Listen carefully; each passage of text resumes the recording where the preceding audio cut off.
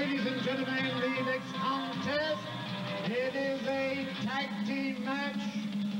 Introducing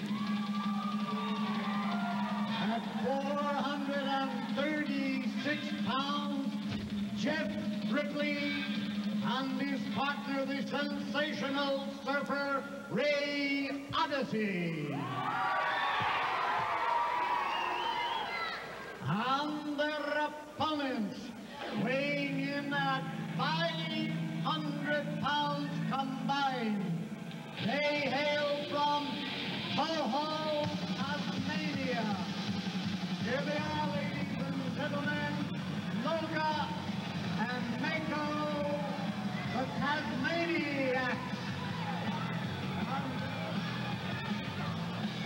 Welcome back, wrestling fans. Do not adjust the color on your television set. You are looking at uh, Freak Test Pattern, the Tazmaniacs, with their manager, Dirty Deeds, Darren Wise. I don't know if Jeff Gripley and Ray the Surfer Odyssey know what they got themselves into, Mike. I think they made a big mistake. I would never have signed a contract to face uh, again, they're not pro wrestlers. I will not call them that. They're savages, they're cannibals, and totally uh, animalistic. And Let's really, they should not be in the ring. Very intense individuals. I'll tell you, Very you saw intense. them going through their pre-match ritual. Now scanning. watch when they make the tag, they will headbutt one another. I have never seen that before in my career. Ray Odyssey stepping Oh. underneath. What a shot! These two had some great go-rounds when each of them were vying for the Junior Heavyweight Championship. And Ray Odyssey knows Noga of the Tazmaniacs, the guy you're looking at outside the ring right now. And Noga, in turn, knows the style of Ray Odyssey. Those two have been up and down and up and down and This back and forth and down the street and back This is again. true. And uh, When you You know know- a wrestler's style, it's ver- very, very hard to get an upper edge on him. He may know his style, but now you've got two of them in Look double out, the here trouble. comes oh. Ray Odyssey outside over the top rope. Meanwhile, Menko is outside the ring, but it's too late. And he's gonna take a shot. What a high-risk maneuver by Ray the Surfer Odyssey. That is unbelievable. If he ever missed that shot, I don't know what would. Over the top rope, leaping about 10 feet in the air, coming out onto the hardwood floor. And I'll tell you, it is solid. Yeah, there's Ray's no not a padding out there, uh, wrestling fans, like Ray's some other federations. wrestler. This is hardwood floor. When you hit the floor, you're gonna feel it. I'll tell you, Ray Odyssey good for one is good feels his man out of there.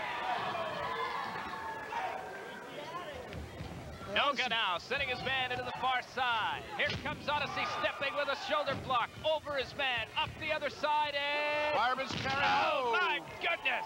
Tasmanian drop.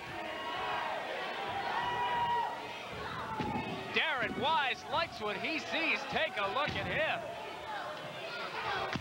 Noga pounding away at the back of the head of Ray the Surfer Odyssey. Whips him into the buckle. Lets out a scream, but it's too late. He should have gone right in there, Mike. He definitely took his time and uh, gave the surfer a chance to recoup. There's a two count. That's all he's going to get. You're not going to beat the Tazmaniacs that easily. Uh, I wouldn't be surprised if Darren Wise isn't already negotiating title shots for these guys. Of course, they have to go through teams like Ray Odyssey and Jeff uh, Gripley. But uh, Oh. look at that. That belly-to-belly suplex was unbelievable. And he turned that in, uh, originally started out as a bear hug, and it, it was unbelievable. He did a complete flip. And look at the surfer fighting his way back and a flying What a drop, drop kick. kick. And another one from a standstill position. Take no prisoners. Hip toss. Over the hip. And I'll tell you something, Brian, you're seeing some exciting IWCCW wrestling action. Unbelievable. I'll tell you, the action is fast and furious, hot and heavy. There's a back suplex. That's going to take Jeff Gripley out, and that's going to send him down to the canvas and allow him to think about uh, the match for a little bit. I'll, I'll tell you, one, just when you think you have uh, these Tazmaniacs down, they come with one of these uh, original suplex and just turn the tables right around. You know, Oh, Don, he dropped him right on his Right on the top of his head. unbelievable. Oh. How would you like to have these two guys over for dinner? Uh, I think if we invited those two over for dinner, we would be dinner. It very well could be. Uh, so I don't Very think I'll be doing that too, uh, too often. You know, you know how Noga here in the ring likes his steak within reach. There's another suplex. There's another And belly suplex. I have never seen so many impressive suplexes in one match. So many different styles of suplexes. It's just amazing. Gripley whipped to the ropes and he holds him up there, lets him think about it, and drops him. I'll tell you one thing, Jeff Gripley is going to be feeling the effects of this like a- match tomorrow morning. I'll tell you, he's going to this have to go to a massage therapist. Look at this. What's coming up? Ah, what a savate kick. Holds him. There's that maneuver. And it looks like he's going for the submission. There it is. That Tasmanian submission type hold. I don't know if you want to call it the Tasmanian submission hold. I guess that's a good name for it.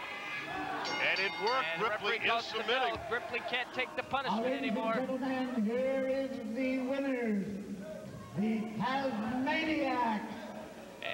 They didn't go after Ray Odyssey. I thought they were going to, but Darren Wise wisely pulled out that controlling crystal, the only known object to be able to control the diabolical Tazmaniacs. There they go. And here we go to a break. We're coming right back with more wrestling action. Don Zaleski, Mike Bittman, Brian Webster, and ringside.